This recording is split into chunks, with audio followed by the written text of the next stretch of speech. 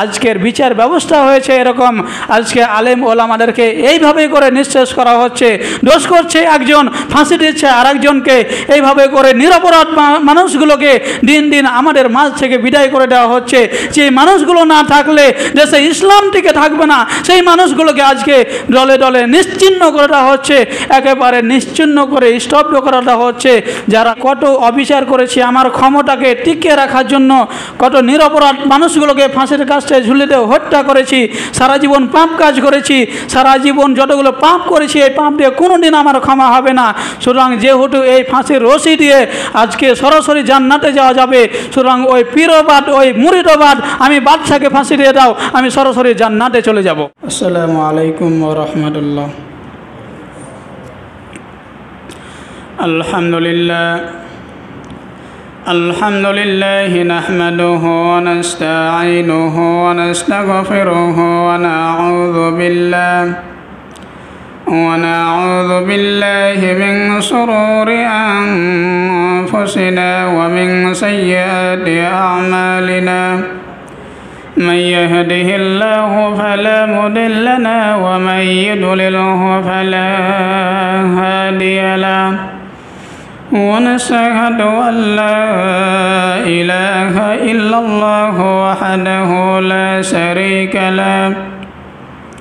ونشهد أن سيدنا وسندنا ومولانا محمدا عبده ورسوله الذي أرسله بالحق بشيرا ونذيرا. ودائيا إلى الله بإذنه وسراجا منيرا. فقد قال الله تعالى في كلامه المجيد والفرقانه الحميد. أعوذ بالله من الشيطان الرجيم. بسم الله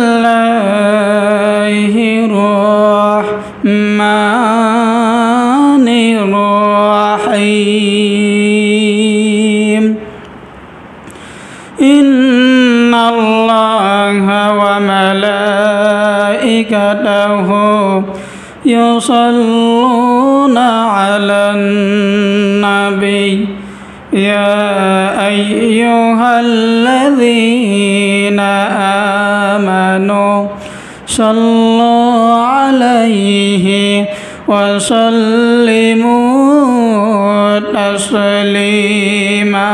صبي اللهم صل على سيدنا مولانا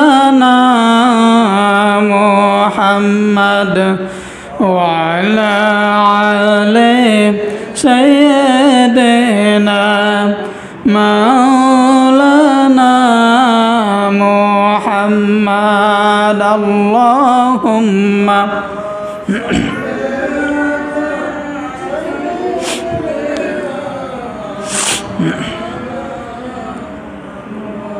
وعلى علي سيدنا مولانا সকল মাত যাবে জান্নাত সকল মাত যাবে জান্নাত বিশ্বনবীর ঘোষণা।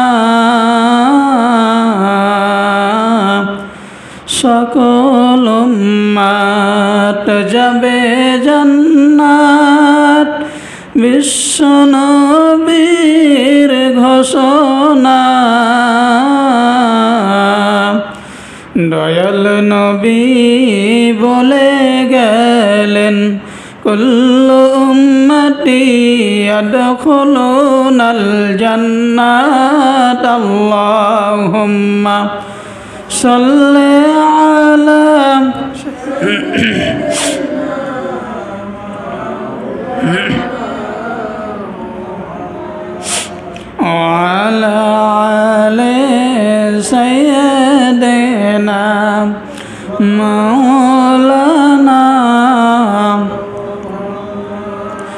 আলহামদুলিল্লাহ।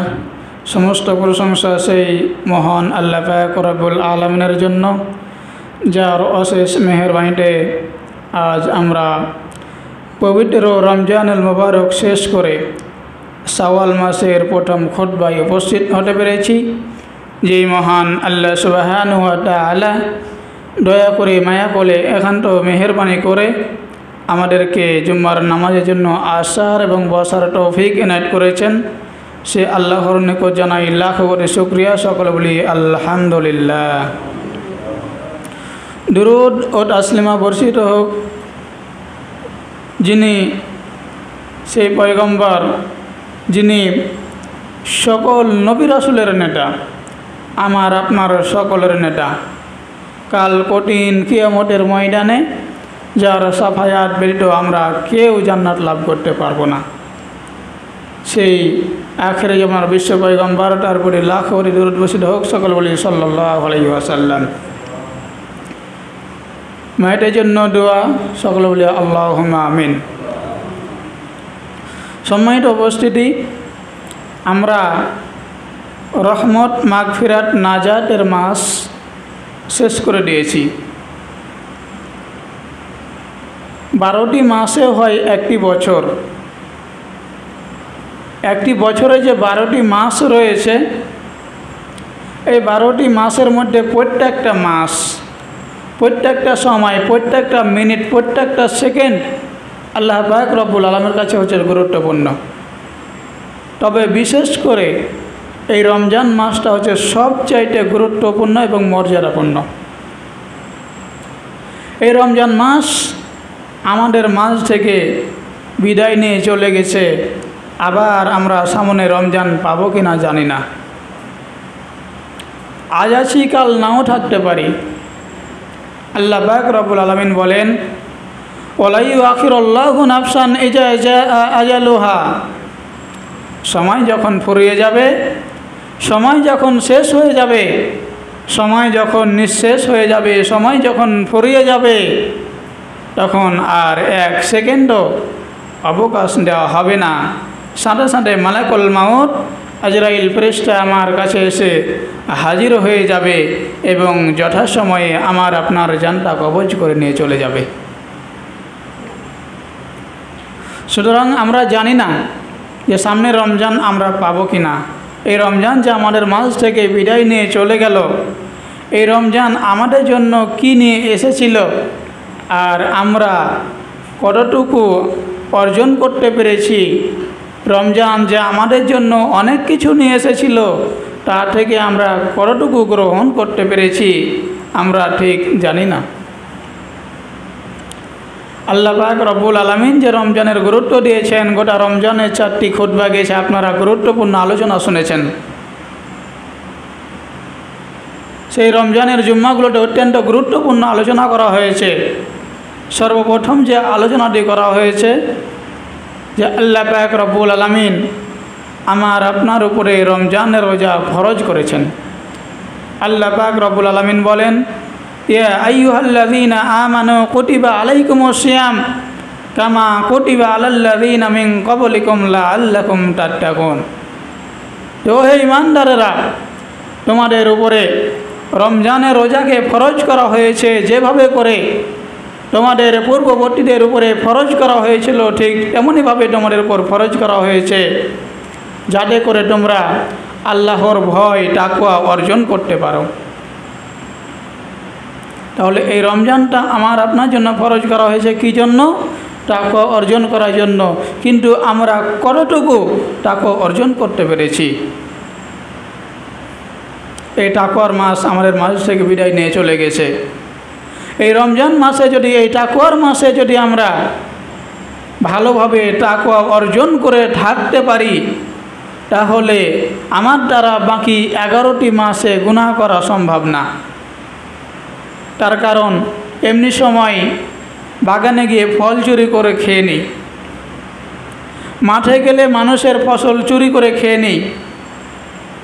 মানুষের জমির আইল ফেলে দেই। অন্যের গাছের ফল নিজের মনে করে পেরে চুরি করে খেয়ে নিই। কিন্তু যখন রমজান মাসে আমরা রমজানের রোজা পালন করেছি, তখন কিন্তু আমরা সকল প্রকার খারাপ কাজ থেকে বিরত থেকেছি। তার কারণ আমি জানি যে ফজরের নামাজের আগে খাবার খেয়েছি, মাগরিবের কিছুক্ষণ পূর্বে আবার খাবার খাব। সারাদিন কষ্ট করে না খেয়ে থাকতে হবে। আর এর ভিতরে যদি আমি একটা খারাপ কথা বলি, মুখ দিয়ে খারাপ ভাষা উচ্চারণ করি ফায়সা ভাষা উচ্চারণ করি, মানুষের সাথে দুর্ব্যবহার করি, মানুষের সাথে খারাপ আচরণ করি, কোনো কিছু এক কথা যদি কোনো খারাপ কাজ করি, তাহলে আমার সারাদিনের কষ্ট করে না খেয়ে থাকাটা সম্পূর্ণ বাদ হয়ে যাবে, ব্যর্থ হয়ে যাবে। এই জন্য আমরা রমজান মাসে সকল প্রকার খারাপ কাজ থেকে বিরত থেকেছি।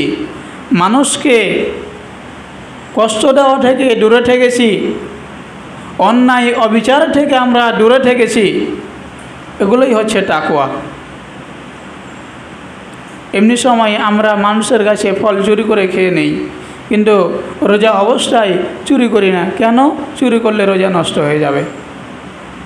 তখন আল্লাহ আমার এই রোজাটা কবুল করবে না। এটাই হচ্ছে একটা টাকুয়া ঠিক এমনইভাবে আমরা বাকি এগারোটি মাস যদি এইভাবে খারাপ কাজ থেকে বিরত থাকতে পারি, এরকম ফাইসা কাজ থেকে যদি বিরত থাকতে পারি, আমার সাথে যদি কেউ ঝগড়া করতে আসে, আমার সাথে যদি খারাপ ব্যবহার করে, আমার সাথে যদি খারাপ আচরণ করে, আমি তাকে সালাম দিয়ে ফিরে চলে আসব। বলব যে আমি সিয়াম আমি সিয়াম আছি আমি রোজা আছি।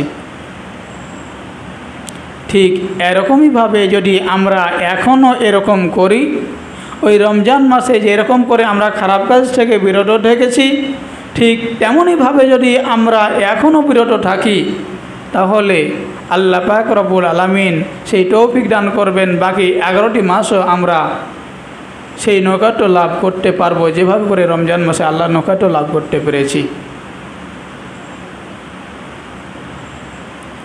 আমরা এক মাস রমজানের রোজা পালন করার পরে যখন ঈদ পেলাম, ঈদ পাওয়ার পরে আমরা আনন্দে আত্মহারা হয়ে গেলাম। খুশিতে ভরপুর হয়ে গেলাম, আনন্দ উল্লাসে মেটে উঠলাম। ঈদ মানে তো আনন্দ, ঈদ মানে খুশি। সুতরাং ঈদ মানে যেহেতু খুশি আনন্দ করব, খুশি আনন্দ উল্লাস করব, এটাই স্বাভাবিক। কিন্তু আমাদের কতটুকু আনন্দ হওয়া উচিত, কতটুকু খুশি হওয়া উচিত, আমাদেরকে হাদিস থেকে জানতে হবে। বিশিষ্ট সাহাবি হজরত আবু হরাইরাল্লাহ আনহতে বর্ণিত তিনি বলেন যে, আমি পবিত্র ঈদুল ফিতরের দিন। হজরত উমর আদাল্লাহ তালা আনহর রুমে গেলাম। তখন হজরত আমিরুল মিনেন খলিফাতুল মুসলিমিন, অর্ধ পৃথিবীর শাসনকর্তা হজরত উমর ফারুক রদাল্লাহ আন তার কাছে গেলাম। তার বাসায় যখন গেলাম, দেখতে পেলাম যে তার ঘরের দরজা বন্ধ এবং তিনি কন্ডন করছেন। আমি উমরে ফারুক, তৎকালীন গভর্নর, তৎকালীন প্রেসিডেন্ট, আমিরুল মিন খলিফাতুল মুসলিমিন হজরত উমর ফারুক আনহুকে প্রশ্ন করলাম, হে আমিরুল মোমিন আপনি কেন কাঁদছেন? অথচ আজকে খুশির দিন। বাইরে সবাই খুশি, আনন্দ, উল্লাস করছে। আর আপনি কাঁদছেন কেন? তখন ওমর ফারুক রদাল্লাহ আনহু বললেন, হে আবু হরাইরা আমি কাঁদছি কেন তুমি কি জানো? আমি কাঁদছি, তারা উল্লাস করছে, হাসি তামাশা করছে, আনন্দ উল্লাস করছে। তারা একটি মাস রমজানের রোজা পালন করার পরে আনন্দ আত্মহারা হয়ে গেছে। কিন্তু তারা কি জানে যে তাদের রোজাগুলো কবুল হয়েছে কি না তারা কি জানে এই রমজানে তাদের তারাবিগুলো কবুল হয়েছে কি না তারা কি জানে যে এই রমজানে যে তারা তাহাজুদ পড়েছে, বেশি বেশি ইবাদত বন্দেগি করেছে, সেগুলো কবুল হয়েছে কি না যদি সেইগুলো কবুল হয়ে থাকে, তাহলে তারা আনন্দ উল্লাস করুক, কোনো সমস্যা নেই। আর যদি তাদের সেইগুলো কবুল হয়ে না থাকে রমজানের রোজাগুলো কবুল হয়ে না থাকে তারাবিগুলো কবুল হয়ে না থাকে, ইবাদত বান্ডেগিগুলো যদি কবুল হয়ে না থাকে, তাহলে আনন্দ উল্লাস করে কোনো লাভ নেই, ক্রন্দন করা ছাড়া আর কোনো উপায় নেই। আমি এই জন্য কাঁদছি যে আল্লাহ পাক রবুল আলমিন এই রমজান মাসে যেই সমস্ত বান্দাগুলো রোজা কবুল করেনি, যেই সমস্ত বান্দাগুলো তারাবিজ নামাজ কবুল করেনি এক মাসে যে যতগুলো নেক আমল করেছে, আমল আখলাক করেছে, যেই বান্দার আমলগুলো এই মাসে কবুল করেনি, আমি উমরে ফারুক সেই তাদের কাটারে পড়ে যাই কি না চিন্তা করেছেন? যে উমরে ফারুক রদাল্লাহ ডালানহ দুনিয়ায় বেঁচে থাকতে জান্নাতের সার্টিফিকেট পেয়েছেন, দুনিয়াতে বেঁচে থাকতে দশজন সাহাবি জান্নাতের সার্টিফিকেট পেয়েছেন যে গ্যারান্টি এরা জান্নাতে যাবে। গ্যারান্টি এরা জান্নাতে যাবে। জান্নাতের ঘোষণাপ্রাপ্ত সাহাবি দশজন, তার মধ্যে দুই নম্বরও হয় উমর ফারুক। অথচ সেই উমর ফারুক ঈদের দিনে কন্ডন করছেন কাঁদছেন যে আমার রোজা কবুল হয়েছে কি না অথচ আমরা ঈদের দিন আসলে কত আনন্দ উল্লাস করি। সম্মানিত উপস্থিতি, আমাদের কন্ডন করা উচিত, আল্লাহর কাছে চোখের পানি ফেলা উচিত যে হে আল্লাহ, এই খুশির দিনে, ঈদের দিনে কাটা উচিত। এইভাবে যে হে আল্লাহ তালা এই খুশির দিনে তোমার কাছে কেটে কেটে পানা চাচ্ছি, তোমার কাছে ক্ষমা প্রার্থনা করছি যে আমি একটি মাস রমজানের রোজা পালন করেছি, এর মধ্যে ভুল ত্রুটিগুলো আমার ক্ষমা করে দাও, এই রমজানের রোজাগুলোকে কবুল করে নাও। আল্লাহ যেন আমাদের রমজানের রোজাগুলো কবুল করে নেন, তারাবির নামাজগুলো কবুল করে নেন, সকলে বলি আল্লাহ আমিন। এই রমজানের রোজা, এই রমজান মাস আমাদের মাঝ থেকে বিদায় নিয়ে চলে গেছে। অনেক গুরুত্বপূর্ণ আপনারা নসিয়া শুনেছেন এই মাসে, গত মাসে। এখন চলে এসেছে সাওয়াল মাস। হাদিস শরীফে এসেছে, আমরা যেন এই রমজান মাসের মতো করে এই সাওয়াল মাসে আমল আখলাখটা একটু বেশি বেশি করি। হাদিস শরীফে বলা হয়েছে, যেন আমরা রমজান মাসের মতো করে এই সাওয়াল মাসে বেশি বেশি আমল আখলাক করার চেষ্টা করি। তার মানে এই নয় যে রমজান মাসের মতো একটি মাস রোজা করতে হবে, রমজান মাসের মতো তিরিশটি তারাবি পড়তে হবে, রমজান মাসের মতো লাইলাতুল কদর খুঁজে জাগতে হবে, এরকম কিছু না। তবে এই মাসেও রোজা আছে ছয়টি। কয়টি বললাম? ছয়টি। এই সওয়াল মাসের ছয়টি রোজা আছে, হাদিস শরীফে এসেছে। মুসলিম শরীফেও এসেছে, আবু দাউদ শরীফেও এসেছে। বিশ্বনবী সাল্লাহ সাল্লাম বর্ণনা করেছেন হজরত আয়ুব আনসারি রাল্লাহ আনহতে বর্ণনা করা হয়েছে যে এই সওয়াল মাসের মধ্যে এমন ছয়টি রোজা আছে যে রমজানের রোজা পালন করার পরে এই সওয়াল মাসের ছয়টি রোজা যে রাখল সে যেন গোটা বছর, সারা বছরই রোজা পালন করল। বললেন সুবাহান আল্লাহ এই জন্য আপনারা চেষ্টা করবেন এই ছয়টি রোজা রাখার। রমজানের মতো একাধারে এই রোজাগুলো রাখতে হবে, এমন কোনো বাধ্যবাধকতা নেই। আপনি একাধারে পর পর ছয় দিনে ছয়টা রাখতে পারেন, একদিন পর পর রাখতে পারেন, দুই দিন পর পর রাখতে পারেন। মোট কথা যে এই গোটা মাসের মধ্যে এই চাঁদ যে উঠেছে, এই চাঁদের মাসে, সম্পূর্ণ মাসের মধ্যে ছয়টি রোজা হলেই হলো। আপনি যদি এই নিয়ে করেন, তাহলে আপনার এক বছরের সমপরিমাণ সব আপনার আমল নামায় আল্লাহ পাক রবুল আলমিন লিখে দিবেন। এই জন্য আমাদেরকে এই রোজাগুলো পালন করতে হবে। আমরা যেভাবে করে রমজান মাসের ভিতরে বেশি বেশি নাকি অর্জন করেছি, বেশি বেশি আমল আখলাখ করেছি। এইভাবে করে আমাদেরকে এই মাসেও বেশি বেশি আমল আখলাখ করতে হবে। রমজান মাসে যেভাবে খারাপ কাজ থেকে বিরত থেকেছি, এই মাসেও আমাদেরকে খারাপ কাজ থেকে বিরত থাকতে হবে। রমজান মাসে যেমন আমরা ঝগড়া, বিবাদ থেকে দূরে থেকেছি, ঠিক তেমনইভাবে এই মাসেও আমাদেরকে ঝগড়া, বিবাদ থেকে দূরে থাকতে হবে। তার কারণ কুল্লুমান আলাইহা ফান। এই পৃথিবী একদিন ফান ফান হয়ে যাবে, এই পৃথিবী একদিন ধ্বংস হয়ে যাবে, এই পৃথিবী একদিন নিঃশেষ হয়ে যাবে। কিন্তু এই নিঃশেষ হয়ে যাওয়ার পরে আমরা কষ্টের জায়গায় যেতে চাই, নাকি আমরা আরামের জায়গায় যেতে চাই? আমরা তো সব সময় আরামের জায়গায় যেতে চাই। কেমনের দিন আমরা আরাম আয়েসের জায়গায় যেতে চাই। আল্লাহ পাক রব্বুল আলমিন বলেন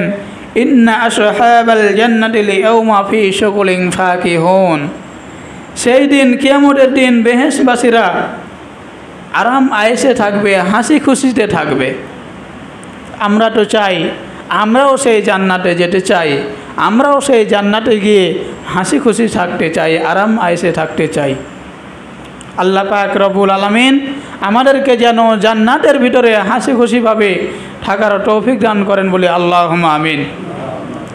সম্মানিত উপস্থিতি, আজকে আমরা এখানে কোরআনের কথা বলছি। রমজান মাস শেষ হয়ে গেছে সাওয়াল মাস শুরু হয়ে গেছে। আমরা রমজান মাসের পরে যখন ঈদ আসলো, এই ঈদের জন্য আমরা বিভিন্ন মানুষ বিভিন্ন দূরদূরান্তে থাকি, বিভিন্ন কাজকর্মে থাকি।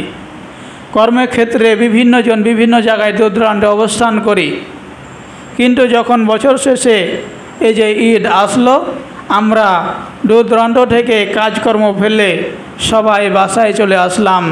একসাথে আনন্দে, উল্লাসে, খুশিতে, আত্মহারা হয়ে ঈদের খুশিটা ভাগাভাগি করার জন্য কথা বলেন ঠিক কিনা কিন্তু আমাদের দেশে এই কোরআনের কথা বলার জন্য যিনি আমাদের অভিভাবক, যিনি আমাদের দেশে কোরআনের এক নাম্বার খাদেম। তিনি কোরআনের পাখি। আজকে তিনি খাঁটাই খাঁচাই বন্দি।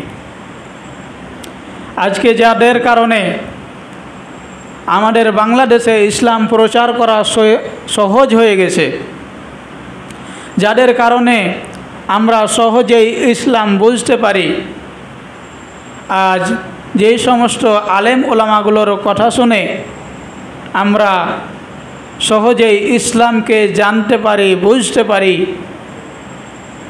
তাদেরকে আজকে খাঁচাই বন্দি করে রাখা হয়েছে। আমরা কত আনন্দ, উল্লাসে উদযাপন করলাম। আর এক নয়, দুই নয়, বারোটি বছর যাবৎ একেবারে খাঁচার মধ্যে বন্দি হয়ে জীবন যাপন করছে। অথচ আজকে বাংলার জমিনে যতগুলো তাফসির মাহফিল করা হচ্ছে, কোরআনের মাহফিল করা হচ্ছে সবই কিন্তু তার হাতের ফসল। আমরা আজকে সেই কোরআনের পাখিগুলোকে একে একে হারিয়ে ফেলছি।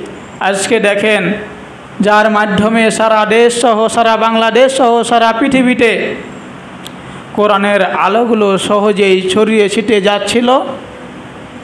তাকে বন্দি করা হলো, আবার তারপরে যারা আসলো যারা কোরআনের কথাগুলো সুন্দরভাবে বলতে লাগল, একে একে তাদেরকেও খাঁচায় বন্দি করতে লাগল। একে একে যারা এই কোরআনের হক কথাগুলো বলতে লাগছে, তাদেরকে একে একে খাঁচায় বন্দি করা হচ্ছে। আর বর্তমান পরিস্থিতিতে যাদেরকে খাঁচায় বন্দি করা হচ্ছে, আর ছাড়া হচ্ছে না। আমরা আজকে বাংলাদেশে নব্বই পার্সেন্ট মুসলমান থাকার পরেও মুসলমান থেকে আমরা বিচ্ছিন্ন হয়ে যাচ্ছি, কোরআন হাদিস থেকে বিচ্ছিন্ন হয়ে যাচ্ছি। আজকে বাংলার জমিনে হক বিচার নেই, সত্য কথার কোনো উপায় নেই। আপনি সত্য কথা বলবেন, কোরআনের কথা বলবেন, হাদিসের কথা বলবেন, ইসলামের কথা বলবেন, মানুষ আপনাকে দেখতে পারবে না। অথচ আল্লাহ পাক রবুল আলমীর নির্দেশ দিয়েছেন, এই জমিনে আল্লাহর দিন কায়েম করার জন্য, প্রতিষ্ঠিত করার জন্য। আমি ওই আলেম ওলামাদের কথা এখানে টেনে নিয়ে আসলাম। এই জন্য যে আজকে আমাদের কোরআনের পাখি আমাদের মাঝে নেই, আমাদের যেই অভিভাবক অভিভাবকগুলো আমাদের মাঝে নেই, তাই বলে ইসলাম থেমে থাকবে না। ইসলাম শুধু যে আলেম ওলামরা মানে প্রচার করবে তা কিন্তু নয়, প্রত্যেকটা মুসলমান যে ব্যক্তি পড়েছে লাহ ইলাহা ইল্লাল্লাহ যে ব্যক্তি আল্লাহকে বিশ্বাস করেছে, যে ব্যক্তি কোরআনকে বিশ্বাস করেছে, হাদিসকে বিশ্বাস করেছে, মুসলমানের ঘরে জন্মগ্রহণ করেছে, প্রত্যেকটা মুসলমানকে দিনের দাওয়াত দিতে হবে। আপনি নামাজ পড়েন, আপনি আপনার পরিবারে দিনের দাওয়াত দিবেন। আপনি আপনার বন্ধুকে দিনের দাওয়াত দিবেন, আপনি আপনার বন্ধুকে নামাজি বানাবেন, আপনি আপনার সহপাঠীকে নামাজি বানাবেন। এটাই হচ্ছে ইসলামের দাওয়াত। শুধু আলেম ওলামা যে ইসলামের দাওয়াত দিবে তা কিন্তু নয়, আপনাকেও ইসলামের দাওয়াত দিতে হবে। আপনি রমজান মাসে খারাপ কাজ থেকে বিরত থেকেছেন, আবার সওয়াল মাস চলে এসেছে। আপনি এখানে ওয়াজ নসিহত শুনলেন, আপনি এখন খারাপ কাজগুলো বাদ দিয়ে দিবেন। আপনি এখন সারা বছর খারাপ কাজ থেকে বিরত থাকবেন। আপনি যেমন নিজে বিরত থাকবেন, ঠিক তেমনইভাবে যদি আপনি আপনার বন্ধুকে, আপনি আপনার সহপাঠীকে, আপনি আপনার পরিবারের লোকজনগুলোকে যদি আপনি খারাপ কাজ থেকে বিরত থাকার তাকিদ দেন আর তারা যদি খারাপ কাজ থেকে বিরত থাকে, ফায়সা কাজ থেকে বিরত থাকে, তারা যদি হক পথে চলে বে নামাজিগুলো যদি আপনার কথা শুনে নামাজি হয়ে যায়, তাহলে ওই ব্যক্তি যেই সমপরিমাণ সব পাবে, আপনার আমল নামায় ততটুকু সব আল্লাহ পাক রবুল আলমিন দিয়ে দিবেন। এই জন্য মনে করেন না যে শুধু আলেমরা ইসলাম প্রচার করবে, আপনাকেও ইসলাম প্রচার করতে হবে। যদি আপনি ইসলামের দাওয়াত না দেন, কাল কঠিন কেমনের ময়দানে আপনাকে আসামের কাঠগড়ায় দাঁড়াতে হবে। আজকে যদি আমাদের দেশে হক বিচার থাকতো, তাহলে আমাদের এই কোরআনের পাখিগুলো আজকে খাঁচায় বন্দি থাকতো না। আজকে আমাদের বিচার ব্যবস্থাগুলো হয়েছে কেমন? বিচার ব্যবস্থাগুলো হয়েছে এমন একটা পীরের গল্প যদি আপনাদেরকে শোনাই, ছোট্ট একটা ঘটনা বলে শেষ করব। যে একটি পীরের ঘটনা বলি, এক পীর বিদেশে গেছিল, তার সঙ্গে মুরিদও গিয়েছিল সে বিদেশে যাওয়ার পরে মুরিদ দেখল পীর এবং মুরিদ দুজনেই গেল বিদেশ। বিদেশ যাওয়ার পরে দেখল যে ওই দেশে তেল এবং ঘিয়ের দাম সমান সমান। লবণ, তেল এবং ঘিয়ের দাম সমান সমান। মুরিদ বলল, তার পীরকে বলছে, হুজুর, আমি আর দেশে ফিরে যাব না মুরিদ যখন বলল, হুজুর, আমি আর দেশে ফিরে যাব না। তখন পীর বলছে, কেন? কেন তুমি দেশে ফিরে যাবে না? আমরা তো এসেছি কয়েকদিনের শিক্ষা সফরে। শিক্ষা সফর শেষ হয়ে গেলে আবার আমরা দেশে ফিরে যাব। মুরির বলছে, হুজুর, আমি আর দেশে ফিরে যাব না। কেন যাবে না? না হলে এই দেশে হচ্ছে তেল এবং ঘিয়ের দাম সমান সমান। আমাদের দেশে তেলের যে দাম, ঘিয়ের দাম চার চাইতে অনেক গুণ বেশি। ঘি আমরা কিনে খেতে পারি না। এই দেশে তেল এবং ঘিয়ের দাম যেহেতু সমান সমান, আমি আর এই দেশে ফিরে যাব না। এই দেশে থাকব, আমি ঘি কিনে খাব, আমি তেল মাখার পরিবর্তে আমি ঘি শরীরে মাখবো। পীর সাহেব বললেন, না, এটা করা যাবে না। তুমি যদি বেশি বেশি ঘি ইউজ করো, তুমি যদি বেশি বেশি ঘি মাখো, শরীরে ইউজ করো, তাহলে তুমি তো মোটা হয়ে যাবে। আর তোমার ঘাড় আরও মোটা হয়ে যাবে, ঘাড় ঘোরাতে পারবে না। তখন মুরিদ বলল, আমি ওগুলো কথা মানি না, শুনি না, বুঝি না। আমি আর দেশে ফিরে যাব না। আমি এই দেশে থাকব। আমি ঘি বেশি বেশি খাব, ঘি মাখবো। পীর সাহেব বললেন, দেখো, যেই দেশে তেল এবং ঘিয়ের দাম সমান সমান হয়, সেই দেশের বাদশা কিন্তু বড় জালেম হয়। সে দেশে কিন্তু হক বিচার থাকে না। তুমি এই দেশে থাকিও না।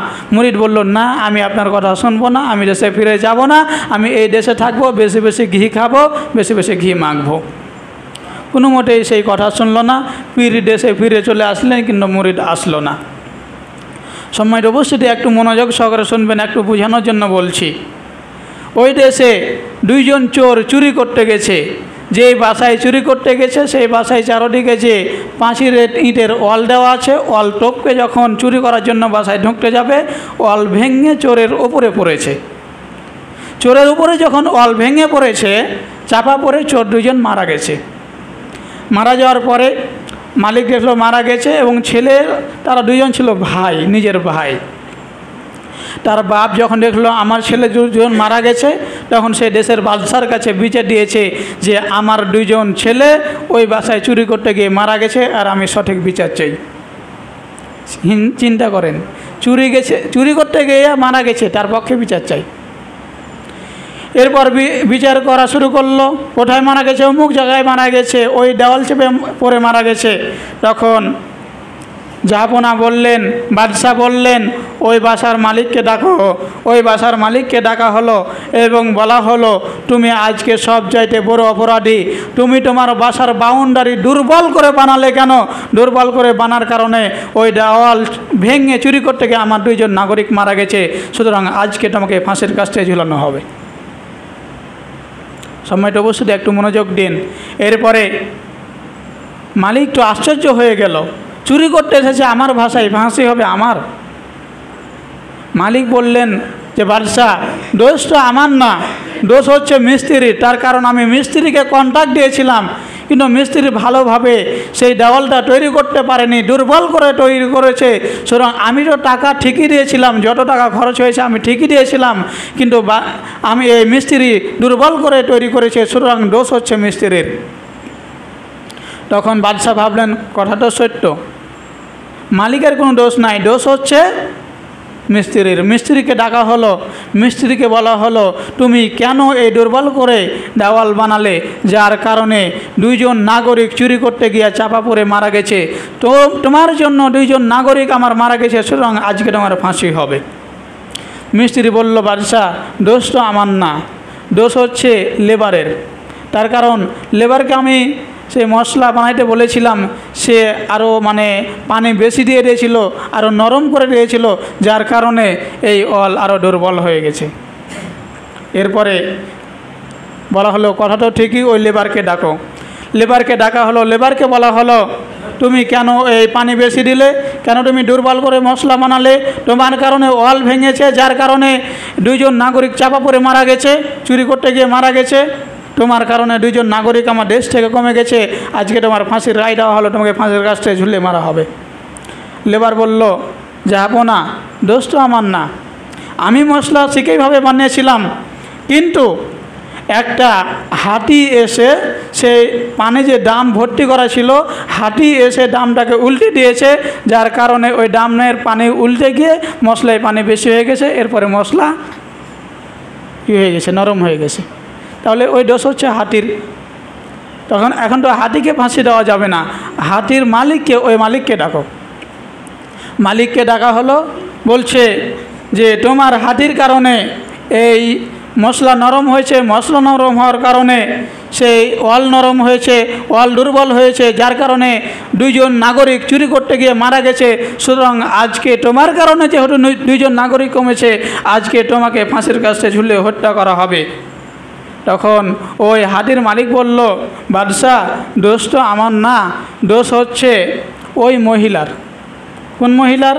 আর, যেই মহিলার গলার হার ঝুমঝুম করে বাজছিল ড্যান্স দিচ্ছিল, লাফালাফি করছিল, ওই ঝুনঝুনির আওয়াজ শুনে এই হাতির ভয়ে লাভ দিয়েছে। লাভ দেওয়ার কারণে পানি উল্টে গেছে, মশলা নরম হয়েছে। এরপরে আবার ডাকা হলো ওই মহিলাকে। মহিলাকে ডাকার পরে মহিলা বলল যে যাব না, দোষ আমার না। সংক্ষেপ করছি, সময় নাই। এরপরে ওই ব্যক্তি বলল, ওই মহিলা বলল, যে, বাদশাহ, দোষ আমার না। দোষ হচ্ছে স্বর্ণকারের। স্বর্ণকার বেশি বেশি ঝুনঝুনি এখানে লাগালো কেন? আমি তো তাকে বেশি বেশি ঝুনঝুনি লাগাইতে বলিনি। এরপর স্বর্ণকারকে ডাকা হলো।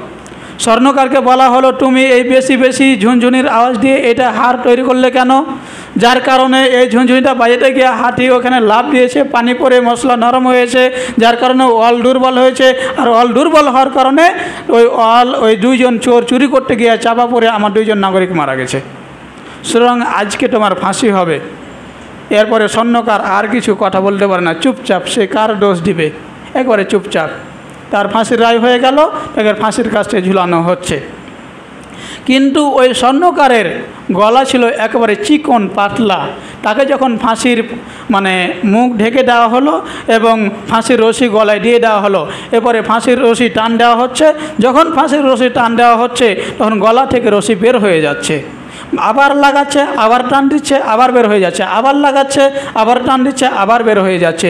এইভাবে করে যতবার ওই স্বর্ণকারকে ফাঁসি দিতে যাচ্ছে, ততবারই এই ফাঁসির রশি বের হয়ে চলে আসছে তার গলা পাতলা হওয়ার কারণে। এরপরে বাদশাহ বলল, যেহেতু রায় হয়ে গেছে, বিচার রায় দিয়ে দিয়েছে, ফাঁসির রায় দিয়ে দিয়েছে, সুতরাং ফাঁসি কার্যকর করতেই হবে। দরকার হলো অন্য কাউকে যার গলা মিলবে তাকে ডেকে নিয়ে আসো। এরপর কাকে পাবে? তার গলায় তো হচ্ছে না। এরপরে সারা দেশ টন্ন টন্ন করে খুঁজতে লাগল। খুঁজতে খুঁজতে খুঁজতে একজনকে পেয়ে গেলো। ওই যে মনে আছে আপনাদের? ওই যে সর্বপ্রথম ওই যে ঘি মাখার জন্য যে মুড়ির থেকে গেল। ওই মুড়িদকে পাওয়া গেল। ওই মুড়িদ একেবারে ঘি খাইতে খাইতে ঘি মাখতে মাখতে একেবারে গলাকে মোটা করে ফেলেছে। এরপরে ওই মুরিদকে আনা হলো। ওই মুরিদের গলায় রশি দিয়ে দেওয়া হলো। এরপরে যখন টান দিতে যাচ্ছে দেখছে রসা একেবারে মিলে গেছে খাপে খাপ। এরপরে যখন টান দিতে যাচ্ছে, তার ফাঁসি হয়ে যাবে এমন পূর্ব মুহূর্তে বাদশাহ বলছে যে যে, তোমাকে যে আজকে ফাঁসি দেওয়া হচ্ছে, তোমার তো মৃত্যুদণ্ড, তোমার এখন মৃত্যু হয়ে যাবে। কিন্তু তোমার শেষ চাওয়া পাওয়া কি? তোমার শেষ, তোমার কোনো যদি ইচ্ছা থাকে, তোমার পূরণ করতে চাই করতে চাই, তুমি বলো। তখন ওই মুরিদ বলল, বাদশাহ, সর্ব, আমি তো মরেই যাব, তবে সর্বশেষ আমার একটা ইচ্ছা আছে, সেই ইচ্ছাটা হচ্ছে আমার পীর সাহেবের সাথে আমি একবার দেখা করতে চাই। যখন বলল যে, আমি দেখা করতে চাই। তখন, ঠিক আছে। তার পীরকে ডাকা হলো, পীরকে ডেকে এনে সাক্ষাৎ করা হলো। এরপরে ওই পীর সাহেব বলল, মুরিদকে যে কী ব্যাপার, তোমাকে ফাঁসি দেওয়া হচ্ছে কেন? তখন ওই যে সব কিছু ঘটনা খুলে বলল এই এই, আমি আপনার কথা শুনিনি, সেই পাপের প্রাশ্চিত্য হচ্ছে আজকে আমার। আমি কোনো দোষ করিনি, আমার গলা মোটা হয়ে গেছে, এটাই আমার দোষ, যার কারণে আজকে আমাকে ফাঁসি দেওয়া হচ্ছে। এরপরে মুরিদ বলল যে, ঠিক আছে, তোমাকে যখন ফাঁসি দেওয়া হবে তোমাকে ফাঁসি দেওয়া হবে, তখন আমি কিছু বলব। তখন তুমি বলবে যে, আমি বলব যে, আমাকে ফাঁসি দেওয়া হোক। তুমি বলবে, না, মুরিদ মানে পীর সাহেবের কোনো দোষ নাই, আমাকে ফাঁসি দেওয়া হোক। তারপর পরের খেলা আমি খেলব। এরপরে যখন ওই মুরিদকে, মুরিদের ইচ্ছা পূরণ করা হলো, পীরের সাথে কথা বলে দেওয়া হলো, সাক্ষাৎ করে দেওয়া হলো, এরপরে মুরিদকে, মুরিদের যেহেতু আশা আকাঙ্ক্ষা শেষ এখন বাদশাহ বলল, এখন দেখা করা হয়ে গেছে, এখন তাকে ফাঁসিতে ঝুলিয়ে দাও। এরপরে ফাঁসিতে ঝুলাতে যাবে। এমন সময় পীর সাহেব বলছে যে, না না, তাকে ঝুলাই না, আমি ফাঁসি ঝুলতে ঝুলতে চাই। তখন ওই মুরির বলছে, না, আমি আমার পীর সাহেবকে আমার চোখের সামনে ফাঁসিতে ঝুলতে দেবো না, এটা আমি সহ্য করতে পারব না, আমাকে ফাঁসির দড়িতে ঝুলে দেওয়া হোক। পীর বলছে, আমি আমার মুরিদকে আমি ফাঁসির কাছে ঝুলা দিতে চাই না, তার পরিবর্তে আমাকে ফাঁসির কাছে ঝুলানো হোক। বারবার যখন এরকম বলল, এরপরে যখন জল্লাদ বাদশার কাছে খবর পৌঁছে দিল যে, হে বাদশাহ যে আজকে তো এভাবে ফাঁসি দেওয়া হচ্ছে না। সে বলছে, আমাকে ফাঁসি যাও মুরির বলছে, আমাকে ফাঁসি দাও। আবার পীর সাহেব বলছে, না, আমাকে ফাঁসি দাও। তখন বাদশাহ বলল যে, এর ভিতরে কিছু একটা আছে। অবশ্যই গরমিল আছে। বাদশাহ সরাসরি সেখানে চলে আসলো এবং পীর সাহেবকে জিজ্ঞাসা করল যে, হে পীর সাহেব, এখানে কী এমন আছে যে আপনি ফাঁসির দড়িতে ঝুলতে যাচ্ছেন? আপনার তো কোনো দোষ নেই। দোষ করেছে আপনার মুরিদ। সুতরাং ফাঁসি হবে আপনার মুরিদের। আপনি কেন ফাঁসিতে ঝুলবেন? তখন পীর সাহেব বললেন যে আপনি কি শুনতে চান? আমি কেন ইচ্ছাকৃতভাবে ফাঁসি ধরে ঝুলতে চাই? বাচ্চা বললেন, ঠিক আছে, আপনি বলেন। তখন পীর সাহেব বললেন যে, আমি ফাঁসির রশিতে যখন আমার মুরিদকে টান দেওয়া হচ্ছে, তখন ফাঁসির রশি দিয়ে আমি ছিদ্র দিয়ে দেখতে পাচ্ছি যে সরাসরি মুরিদ এই ফাঁসির বিনিময়ে জান্নাতে চলে যাচ্ছে। এজন্য আমি আমার মুরিদকে বাদ দিয়ে আমি ওই ফাঁসি দড়িতে ঝুলতে যাচ্ছি। তার কারণ দুনিয়াতে আমি কত পাপ করেছি, না করেছি জানি না। এই ফাঁসি দড়িতে যে ব্যক্তি ঝুলবে, সে সরাসরি জান্নাতে চলে যাবে। তখন স্টপ যখন স্টপ করতে বললেন স্টপ স্টপ বাদশাহ বললেন, আমি কত অবিচার করেছি আমার ক্ষমতাকে টিকিয়ে রাখার জন্য। কত নিরপরাধ মানুষগুলোকে ফাঁসির কাছে ঝুলিতে হত্যা করেছি। সারা জীবন পাপ কাজ করেছি। সারা জীবন যতগুলো পাপ করেছি, এই পাপ দিয়ে কোনো দিন আমার ক্ষমা হবে না। সুতরাং যেহেতু এই ফাঁসির রশি দিয়ে আজকে সরাসরি জান্নাতে যাওয়া যাবে, সুতরাং ওই পীরবাদ, ওই মুরিদবাদ আমি বাদশাকে ফাঁসি দিয়ে দাও, আমি সরাসরি জান্নাতে চলে যাব। সময়টা অবশ্যই দোষ করল কে? আর ফাঁসি হচ্ছে কার? বুঝতে পারলেন? আজকের বিচার ব্যবস্থা হয়েছে এরকম। আজকে আলেম ওলামাদেরকে এইভাবে করে নিঃশেষ করা হচ্ছে। দোষ করছে একজন, ফাঁসি দিচ্ছে আর একজনকে এইভাবে করে নিরপরাধ মানুষগুলোকে দিন দিন আমাদের মাঝ থেকে বিদায় করে দেওয়া হচ্ছে। যে মানুষগুলো না থাকলে দেশে ইসলাম টিকে থাকবে না, সেই মানুষগুলোকে আজকে দলে দলে নিশ্চিহ্ন করে দেওয়া হচ্ছে। একেবারে নিশ্চিহ্ন করে স্তব্ধ করে দেওয়া হচ্ছে। যারা কথা বলতে যাচ্ছে ইসলামের পক্ষে, যারা কোরআন নিয়ে কথা বলতে যাচ্ছে, আজকে তাদেরকে এভাবে মিথ্যা বানোয়াত বিচার ব্যবস্থা দিয়ে বিদায় করে দেওয়া হচ্ছে। কথা বলেন ঠিক কেনা? এইভাবে করে আপনি যদি হক কথা বলেন, আপনাকে এভাবে বিদায় করে দেওয়া হবে। সময়টা অবশ্যই সঠিক বুঝ যেন আল্লাহ পাক রবুল আলমিন আমাদেরকে দান করেন। আর এই মাসে যে ছয়টি রোজার কথা বললাম, অবশ্যই অবশ্যই এই ছয়টি রোজা পালন করার চেষ্টা করবেন। আল্লাহ পাক রবুল আলমিন দিনের প্রতি আমাদেরকে কবুল করুন, হক কথাগুলো আমাদেরকে মেনে চলা তৌফিক দান করুন। আলহামদুলিল্লাহ রবিল আলমিন।